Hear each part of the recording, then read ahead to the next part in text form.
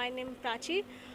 हम लोग इस जगह पे आए हैं, शूटिंग के लिए और माल्या जी के साथ में काम करने का हमें मौका मिला और ये गाना बहुत अच्छा है और यहाँ के लोग भी अच्छे हैं और इस गाना को आप यूट्यूब में देखें और बहुत लाइक भी करें, बहुत अच्छा है और आप दर्शकों से मैं यही निवेदन करती हूँ कि आप लोगों को बहुत अच्छा लगेगा ये। सो थैंक यू इसमें जो हीरो हीरो हैं, उनके बारे में क्या कहना चाहेंगे?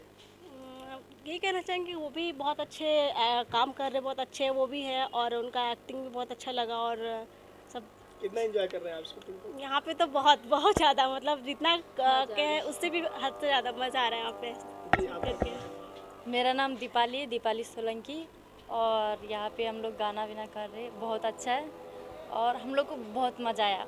ये लोग के साथ में काम करके बहुत अच्छा लगा। और चाहते हम इसी तरह काम करते रहे आगे बढ़ते रहे धीरे हाँ, सही है। हाँ। और अब बस आगे बढ़ना है काम तो करना है चाहे छोटा हो या बड़ा हो है ना? तो फ़िल्म के हीरो जो ये के हीरो हीरोइन के बारे में क्या कहेंगे?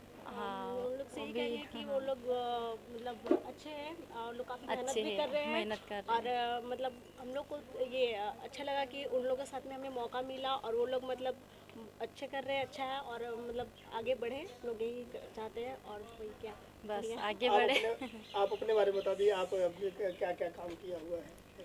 जी मैं भोजपुरी एल्बम करी हूँ और ऐसी दीवान की सीरियल है उसमें भी काम करी हूँ।